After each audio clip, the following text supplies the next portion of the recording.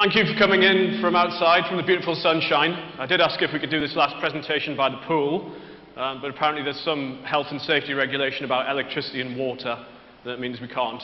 Um, though there may still be some unintended comedy in this presentation, because at some point I'm bound to trip over one of these tables and knock the water flying. So I will place it carefully and try not to do that. So today I'm going to talk about how you can unlock the power of digital to win the battle for attention. So why is this important? Well, as exemplified by this guy, there are a lot of things to look at these days, a lot of things to give attention to, smartphones more than anything. Now, I want to hazard a guess, this guy is probably a millennial. Um, he's out on a lovely boat trip, and I'm not sure what that creature is, but I hope it's not a shark. Um, he's obviously not noticed it, he's so engrossed with his smartphone. So what, why is that? Because consumers now have more media choices than ever before. So getting their attention is harder for brands than it ever has been. There are many more ways to get attention and many more methods to do so, but to actually distract people from all the other options that they have is a tough thing to do. We've got some stats here that the average American now spends more time online per day than they do watching TV. So they spend 5.6 hours online every day. They spend 4.6 hours watching TV. That's more than doubled in the past five to six years. Uh, similarly, there was a stat earlier about the amount of content uploaded to YouTube every minute. The latest data I saw was that there are 400 hours of content uploaded to YouTube every minute. And obviously, it's multi-screening driving this, the amount of mobile devices, the fact that people can do two things at, two things at once, or even three things at once. And mobile is really prevalent. Mobile, we're living in an increasingly mobile-first world. 87% of Facebook accounts are now accessed on mobile, around 50% still on desktop, but 87% on mobile. Again, a US stat, 51% of time spent on digital media in the US is mobile. And in fact, in many emerging markets, that figure's been superseded already. So in fact, in Turkey, 66% of time spent online is on mobile. That's similar to India. Nigeria is even higher at 76%. And you have places like Indonesia and South Africa not far behind. So in many cases, some people have gone straight from having no online, they've missed desktop entirely, and they've gone straight to mobile. So mobile first is really where we're at today. And just to kind of prove that point in Turkey, some of the latest data that we have suggests that smartphone penetration in Turkey has doubled almost in the past two years. So from 37 to 66 percent from 2013 to 2015. And of those people, 70% of them say that they multi-screen. They use their smartphones at the same time that they're watching TV. So multi-screening and getting attention is really difficult. And while that's all going on, there's so much things people can give their attention to people are also actively trying to avoid ads. You only need to go onto the average website these days and see how you get bombarded by advertising, how some websites can have three, four, five different ads running at the same time. So what are people trying to do? They're trying to block them. Around a quarter of smartphone owners have now downloaded ad blocking apps. I think the stat for Turkey is around 5%, but this is coming. It's going to grow, and it's going to get higher.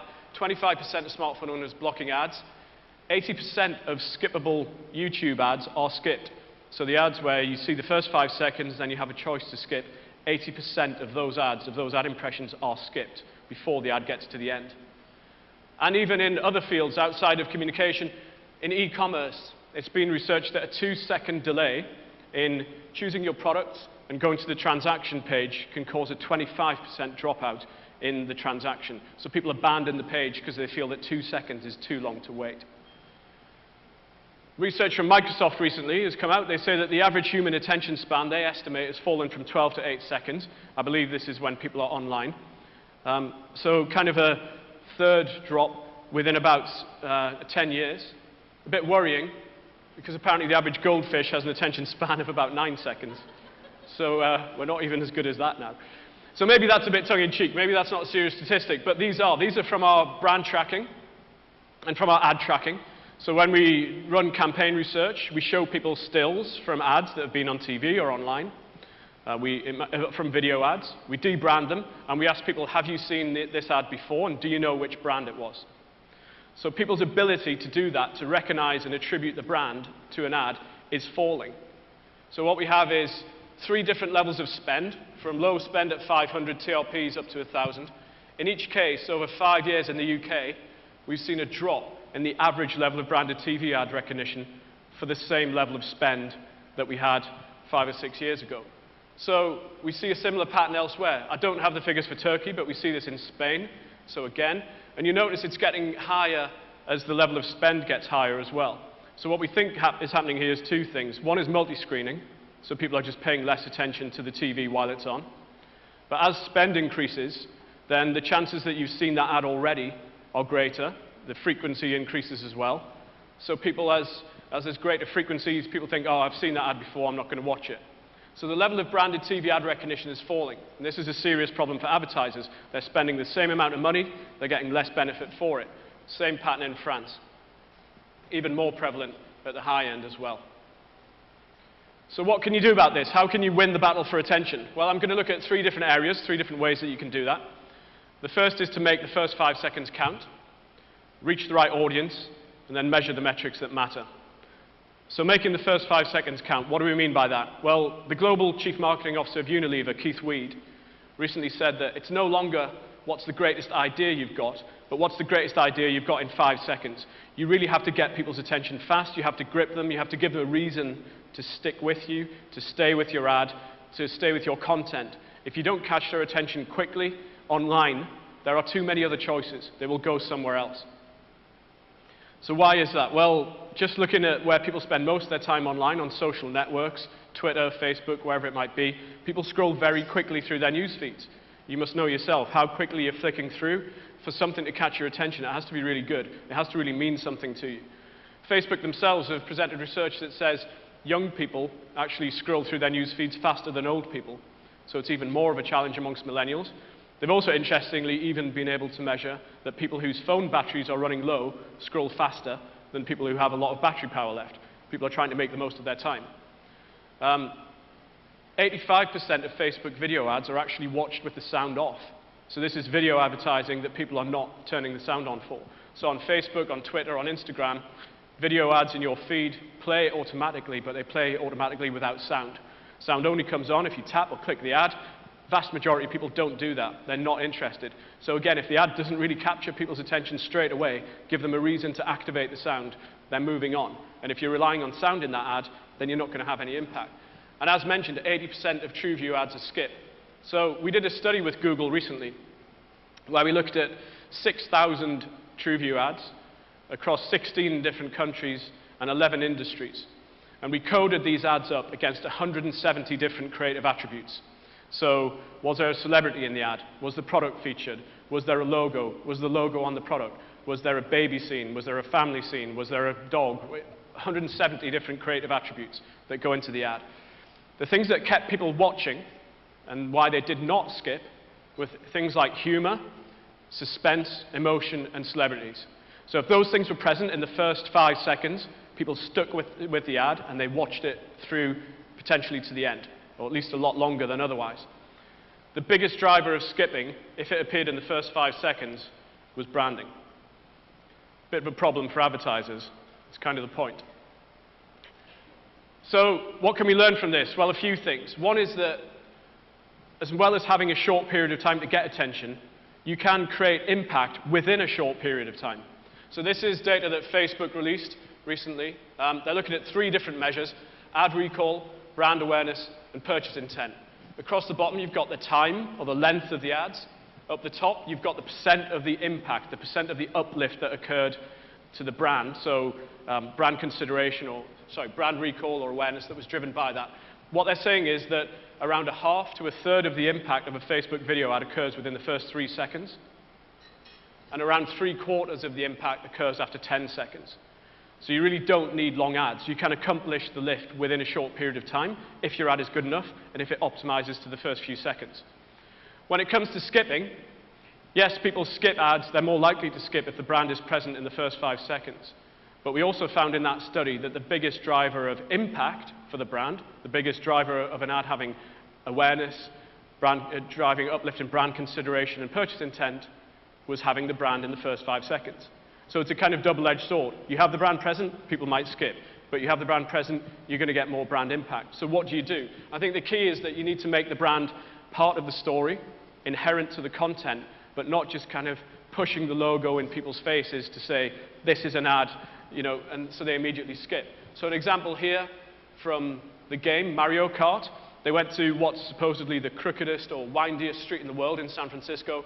They had an ad where characters came down in, dressed as the Mario characters down the street to advertise the Mario Kart game. They didn't need to put the logo up front because people recognized what it was. The brand was part of the story. It wasn't an ad with a brand slapped at the beginning. So having the brand really inherent to the content is really important. And of course, optimization. We do have advertisers who take TV ads and they put them straight online and think they might work the same. They don't, particularly when it's skippable. Um, it's a different context. People, people have the opportunity to skip, which means slow builds or reveals. They don't work. People don't wait until the end to find out what the dramatic thing is going to be. It's too late. So you need to capture them early. I recently tested an ad for a client which was brilliant on TV. It worked really well. But the brand didn't appear until the 20th second and the product until the 26th. When, we ran it, when they ran it as a skippable ad, it was terrible. It had no impact whatsoever because 80% of people had skipped before they even knew who the advertiser was. So you need to optimize ads to the right context. The Internet Advertising Bureau, the IAB, also recommends that brands use more interactive and engaging ad formats. They have ad formats they've called the rising stars. So you can look up online to find out what the rising stars are, but these are some of them. They're essentially ad formats that are more interactive, they do more, they're more creative, there's more for people to do with them, and they're more enjoyable and more engaging. So the research that they've released says that these ads drive higher ad recall, they have better interaction, people look at them longer, and also they have a better impact on the brand itself. Crucially also, people find them much less annoying. So they're much less likely to want to skip or install an ad blocker if it's good quality advertising versus just being bombarded with banners and so forth.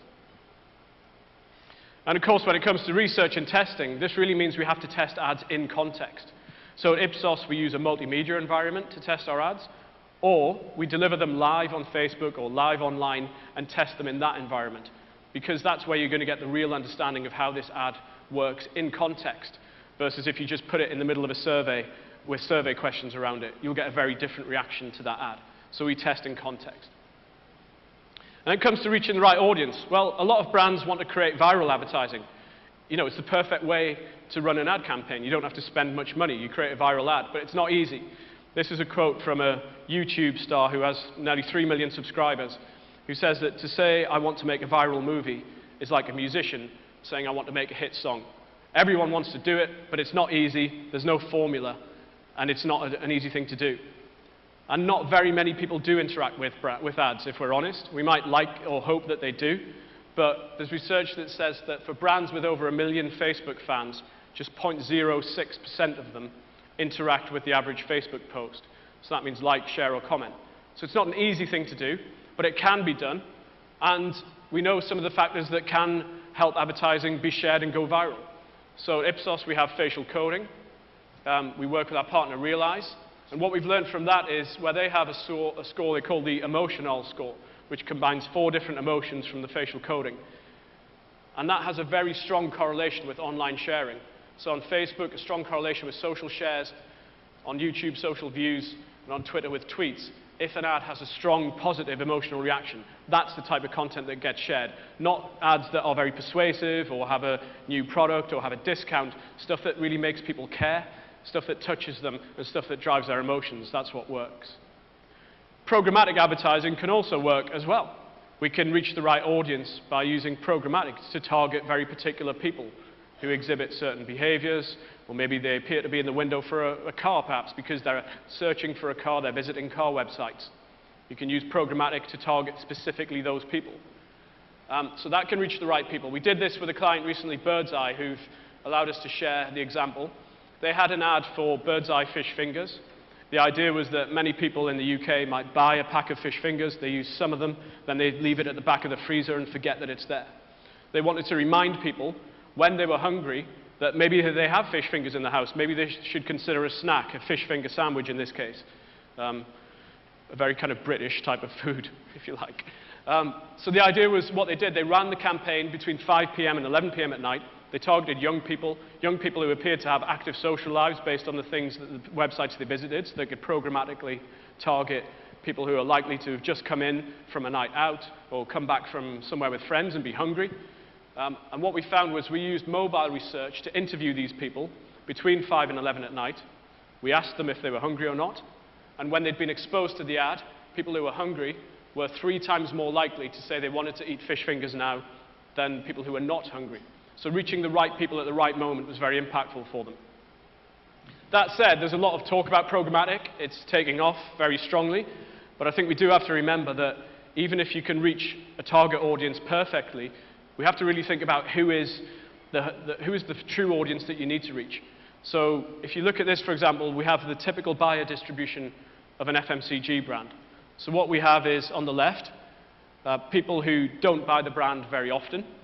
There's far more of those people than people who do buy the brand very often. So often brands can sometimes make a mistake of trying to target people they think really like them or they're fans. And if they do, they're targeting a very small group of people. You only need to think about things like, in this case, beer in the UK. One in four beer drinkers in the UK are women, yet brands virtually never advertise beer advertising at women. Similarly, new cars, often advertisers are trying to reach young people, but in the US, 88% of new cars are bought by people over the age of 35.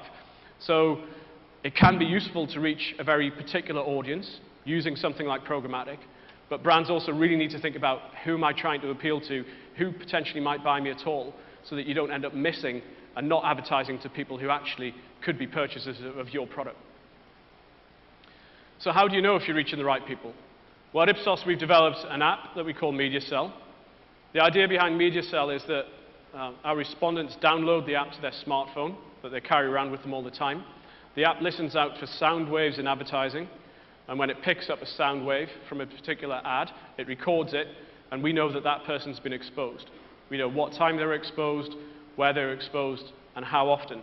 So primarily we're using it for TV. It can also be used for online video, where the sound is on, which is still a lot of online video, if not Facebook. And this is how it works. Um, the advertising that the client wishes to run this with, they identify it, we create a panel who download our app. We can survey them in advance, but we also encode the ad with the media agency. So we put an inaudible sound wave into the ad that the human ear can't pick up, but that our app can. The campaign goes live. We passively collect over the period of the campaign the level of exposure and frequency that that ad reached those people. And then at the end, we can research them. And that's where it gets really interesting to find out what was the impact of that ad. How did it affect them? So here's an example of a campaign that we looked at recently. You can see how when the campaign begins, the orange line is the level of reach, so the cumulative reach of the campaign. You can see how over about eight or nine weeks, it goes from zero to 77%. We know how many people were reached each, each week and at what frequency. This is a massive departure from what we've done in the past, where we've either had to ask people whether they remember ads, whether they recognize ads, or whether they watch the TV shows that ads might appear on. It's all based on memory. We no longer have to rely on human memory. We can use technology to tell us the answer. It allows us to do things like this. We know exactly when people were reached. We know that most people were reached in the evening, um, but also we did reach some people in the morning. We know on the table on the bottom how many times each person was exposed and which different demographic groups were exposed to what extent. So you can get very, very granular information on how that ad performed in terms of its reach and frequency. Then where it gets particularly interesting for us is where we survey people at the end to understand the brand impact. You don't have to understand all the numbers here, they're not all important, but the ones that are is that we had 29% of people who were just not exposed to the campaign. They had no passive exposure, they couldn't remember the ad. We also had, on the right, 13% of people who were exposed according to our app and were able to recall the ad these guys had a big uplift in the brand scores versus the people that were not reached. So the column on the right versus the column on the left. The most interesting bit for us was that 55% of the sample did not remember being exposed to the TV ad, yet passively we knew that they had been. We knew that the smartphone app told us that person's been exposed. So for whatever reason, that ad did not stand out in their mind, not enough for them to be able to remember. But when we look at the results in terms of brand awareness, agreement with two brand image statements and the statement that they definitely or probably buy, they're significantly higher on those scores than the people who we know from the app were not reached at all. So what this is saying is that advertising can have an effect even if people don't remember seeing the ad. And in the past, we wouldn't have known that. We wouldn't have a way of knowing that. Now we know who's been reached, and we can tell whether the ad impacted them, even if they don't remember ever being exposed to that ad. So it can work in that kind of low involvement way. Advertising works like that. So we think with the acceleration of channels and devices, this sort of technology is really important. We're taking it further. We're taking it into digital as well, so we can pick up what people have been exposed to on their phones as well, in terms of um, online advertising. And just the very fact that there's so much stimulus out there means that we're moving away from a survey-based world of recall into this more technology-driven one. And then finally, measuring the metrics that matter. So I think you might recognize this guy, and I think this quote of his is very appropriate when it comes to online advertising. Not everything that counts can be counted, and not everything that can be counted counts. And this is really true, I think, online. There are so many statistics, there's so much data, there are so many analytics. We know that you can take any number and tell a story. You know, we got a billion impressions, okay? What does that mean? We got an 89% view-through rate, right? But did it impact the brand? Did we sell any more product? It's easy to get bamboozled, bamboozled with statistics that may or may not mean anything. So we have to focus on the ones that we do think matter. The behavioral measures, the online web analytic measures, are important and they're useful, but we shouldn't rely on them on their own. We need to know how it affected people. We need to know if there was a brand impact. Ultimately, we need to know if there was a sale as a result of the online advertising. Click-through rates are still used a lot to judge the success of campaigns, even though click-through rates are now very small. Facebook told us that a majority of clients still use click-through rate to optimize campaigns. Yet, there's no relationship between the people who click on an ad and the people who go on to purchase a product. This is data from um, a study that looked at people who click on ads versus people who bought the product within those ads. And what it finds is that young people and older people tend to click on ads more often. And there are certain types of people within that. Certain people are just more clicky. They just click things more often. They click links and ads more often. It doesn't mean they go and buy products more often. And what we found was the products in those ads, they were more aimed at the 25 to 44 year old group. And yes, that was the people who actually bought them. So if you're trying to measure the success of a campaign based on its click-through rate, it's the wrong metric. You'll optimize a campaign to the wrong choices and to the wrong metrics. This is backed up by Facebook as well. So Brad Smallwood, who's head of marketing science at Facebook, says in 99% of the campaigns we've evaluated, the sales generated from online branding campaigns were from people that saw but did not interact with the ads. So they didn't immediately click. They didn't go and purchase, but they'd seen the ad, and when they were next in a store, or maybe two days later, they went online and purchased, the ad still had an effect, but the effect for the brand wasn't determined by the click. It was determined by what it did inside their head, what it made them think, that they were now more aware of the brand, and that next time they had an opportunity, they bought it. But it wasn't to do with the click-through. And even when it comes to other measures, so the view rates, this is data from a study that we did. So we served two ads live on Facebook, we looked at the view rates, so the percent of people who viewed each ad for three seconds or more. Ad A, the top ad, was viewed around half of people, 49%, watched it for at least three seconds. But with ad B, only 39% did. So if that client had done what a lot of brands do, which is go, right, that means ad A is the best ad. It's the one people like the most. It's the one they watch the most. What we'll do is take the spend away from ad B put all that money behind ad A, because it's clearly the best, they would have optimized to the wrong metric. Ad B achieved 150% greater brand consideration amongst all those that were reached by either ad. So ad B was far more effective. And in fact, the reasons were relatively obvious. The brand appeared earlier, the product appeared earlier, it had more impact on brand consideration. The other one was more entertaining, it was more fun, but it didn't have any impact or not as much impact on the brand. So just measuring the behavior doesn't tell us the true impact. And the biggest issue, I guess, with digital metrics is that they tend to be very, very short term. They tell us what did someone do right now. Did they watch the ad? Did they click? What did they do next?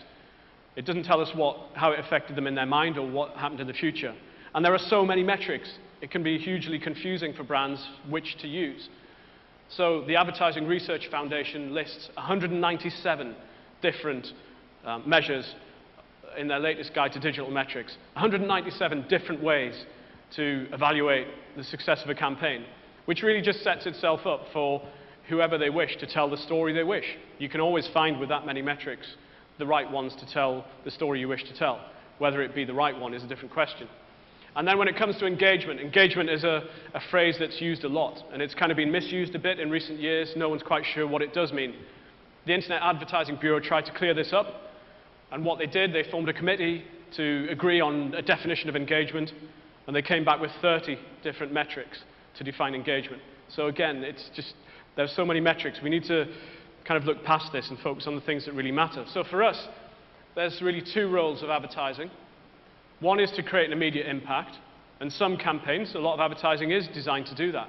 It's designed to have an offer or a new product launch, to have a direct impact and to have a purchase in the short term. So we need to understand, is there action off the back of that ad?